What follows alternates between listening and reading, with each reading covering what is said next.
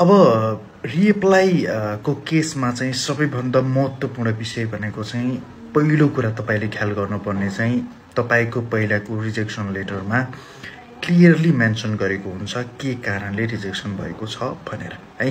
त्यसलाई समेसनमा चाहिँ migration act नै बनाएको हुन्छ होइन। माइग्रेसन एक्टको कारणले नै हामीले तेरो रिजेक्सन गऱ्यौँ भने हुन्छ। तर तपाईँको चाहिँ लास्ट सेकेन्ड लास्ट पेजतिर चाहिँ तपाईँको चाहिँ त्यसमा चाहिँ क्लियरली मेन्सन गरेको हुन्छ कि डिस्क्रिप्टिभ वेमै मेन्सन गरेको हुन्छ। तेरो यो कारणले चाहिँ हामीले रिजेक्सन गऱ्यौँ भनेर चाहिँ त्यहाँ क्लियरली मेन्सन गरेको हुन्छ।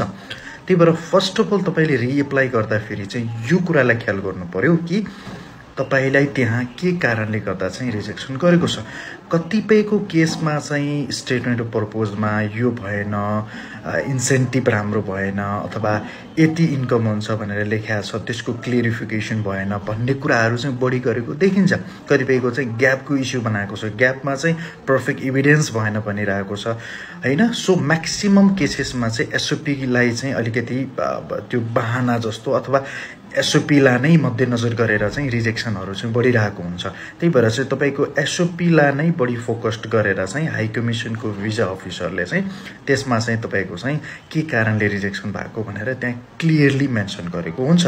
सो त्यसैलाई आधार मानेर हजुरले चाहिँ के गर्नु पऱ्यो भन्दा त्यसैलाई नै आधार मानेर चाहिँ हजुरले आफ्नो स्टेटमेन्ट अफ प्रपोज चाहिँ क्लियरली त्यो कुरालाई आधार मान्दै त्यसलाई चाहिँ एमेन्ड चाहिँ गर्नु पऱ्यो है एमेन्ड गरिसके पश्चात चाहिँ हजुरले एसओपीमा क्लियरली लेख्नु पऱ्यो पहिला के के पुगेको थिएन सबै कुरा उसले लेखा हुन्छ त्यो कुरा चाहिँ गर्नु पऱ्यो बिसाइड द्याट कहिलेकाहीँ चाहिँ तपाईँको चाहिँ फाइनेन्सियलको कुराहरू पनि आउन सक्या हुनसक्छ फाइनेन्सियल पुगेन तेरो त्यो भएको कारणले भन्न सक्छ।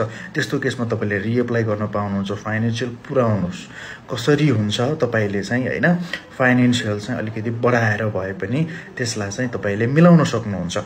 अर्को कुरा भनेको चाहिँ तपाईँले सबैभन्दा महत्त्वपूर्ण त एसओपीको कुरा मैले भनिहालेँ अघि तपाईँलाई र अर्को सबैभन्दा इम्पोर्टेन्ट कुरा चाहिँ के आउँछ भन्दा चाहिँ कुनै पनि डकुमेन्ट तपाईँले चाहिँ फेक हाल्नु भएन है।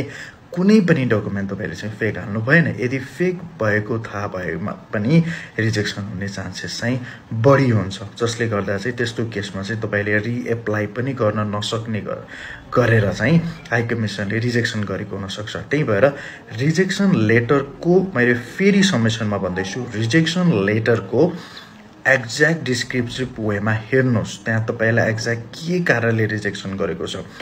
त्यो हेरेर मात्रै बल्ल मात्रै त्यसलाई चाहिँ एसओपी लगायत के कुरामा एमेन्ड गर्नुपर्छ त्यो कुरालाई चाहिँ मजाले एमेन्ड गर्नुहोस्। रिएप्लाईमा पिजाहरू मजाले लगाइरहेको छ। है त सो बेस्ट वेस